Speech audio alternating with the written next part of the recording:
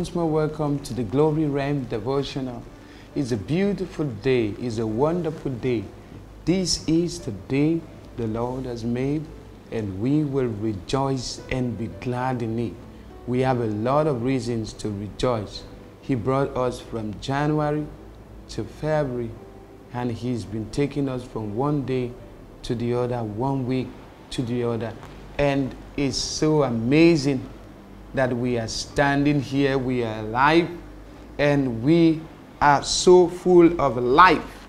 Hallelujah. And to God be the glory. This is the day the Lord has made, and we will rejoice and be glad in it. There's a greater dimension of glory being released upon your life right now. It is the glory realm devotional. It's taking us from one dimension of glory to the other. As you follow the word of God, the Lord is going to speak explicitly. His word will come your way that will help you to go from one dimension of glory to the other. The only way to grow from one dimension of glory to the other is to follow the unveiling, the revealing of the glory of God made manifest by the Word of God. Hallelujah. And that's why we take our time to meditate on the Word of God. So let's do that.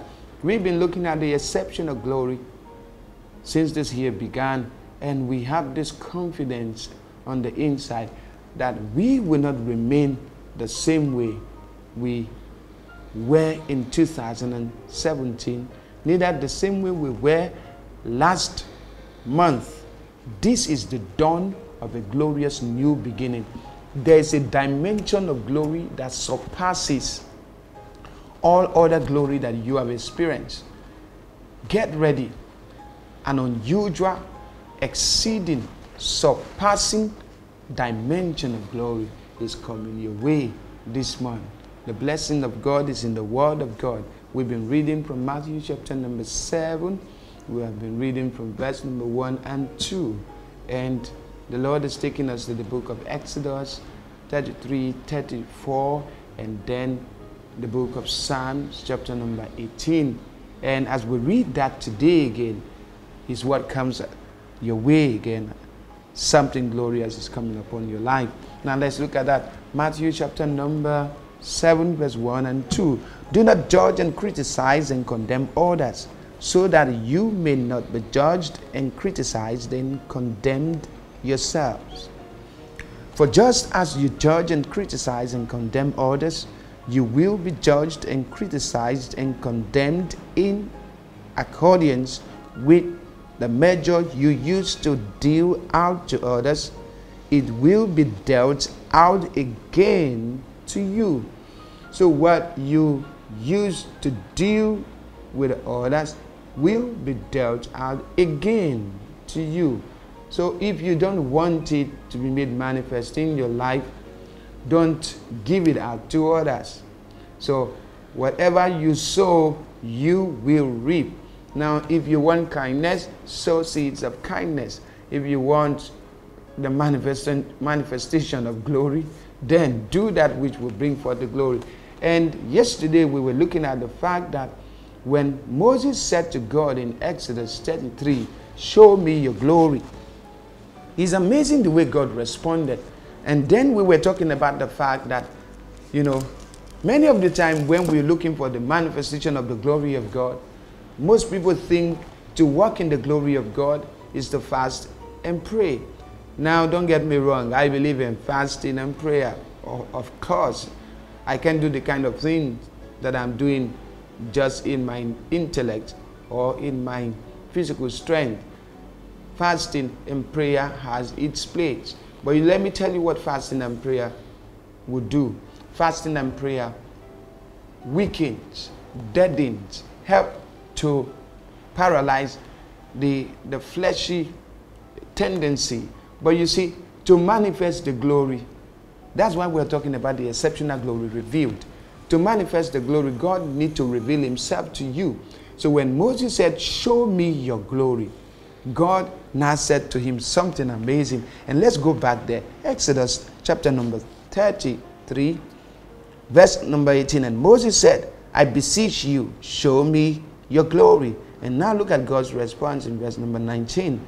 And God said, I will make my I will make all my goodness pass before you. Now, Moses said glory, God said goodness. So, how, how do you, you know, put that together? But you see, the glory of God is in the goodness of God. Ha, ha. Somebody has said, um, um, God is wonderful. It's a wonderful statement, but God is good. Is all, all encompassing. God is good. Because He's good, He heals. Because He's good, He delivers. Because He's good, He saves. Hallelujah. So He said, I will show you my goodness. And what did He do? He said, Okay, let's look at that. It says, it says I will make all my goodness pass before you, and I will proclaim my name, the Lord, before you.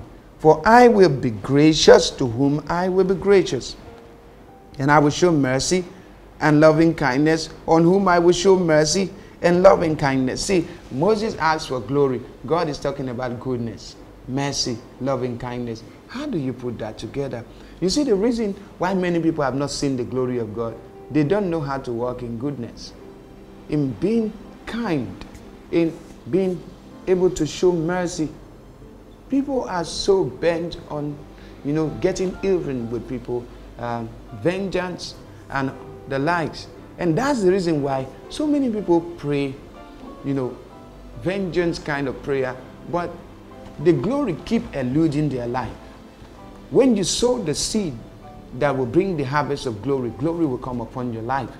That's what God told uh, Moses. Now, if you go to chapter number 33 from verse number 6, now see how the glory was made manifest. Verse number 6 And the Lord passed by before him and proclaimed. Now, look at what God proclaimed. Here's the glory of God. The glory that he said he would show to Moses. And this is the glory. And many people think the glory of God is thunder and lightning, fire and brimstone.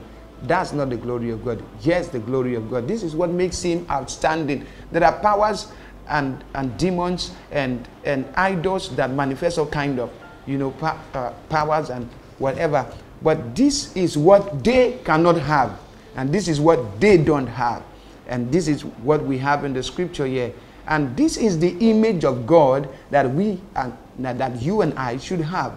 So when you look for the glory, look for the image and the personality of God. So God proclaimed his glory, and here is what he said The Lord, the Lord, a God merciful and gracious, hmm, slow to anger, and abundant in loving kindness and truth, keeping mercy and loving kindness for thousands, forgiving iniquity and transgression and sin. Come on, look at that. When you talk about glory here, he is not talking about thunder and lightning. It is these attributes that bring forth the manifestation of the power and the glory of God. If your life is lacking the glory, check your mercy level, if I can make use of that statement. Check how you respond to your fellow human being. Are you kind? Simply kind. Are you merciful? That's the nature. That's the attribute is that he is slow to anger, he is merciful, he is gracious, abundant in loving kindness. So who are you? Now, if you if that is lacking in your life, I don't care what position you occupy in the church, you need Jesus. Let's talk to him.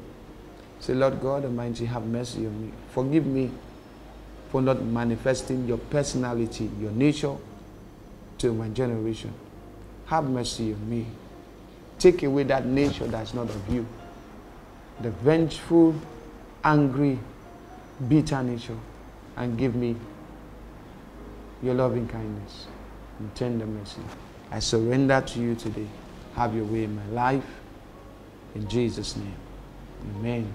If you pray that prayer, I believe that something beautiful just began. And you know what? The glory of God are just taking over and because that glory is in you, people are going to see a new dimension of God's glory.